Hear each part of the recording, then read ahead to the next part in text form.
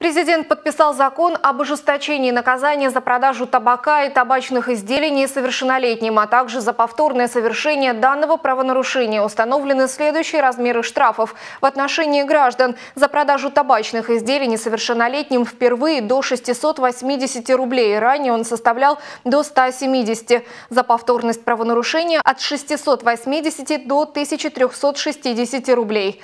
В отношении должностных лиц и индивидуальных предпринимателей за продажу табачных изделий несовершеннолетним впервые до 1530 рублей ПМР, за повторность до 2550 рублей.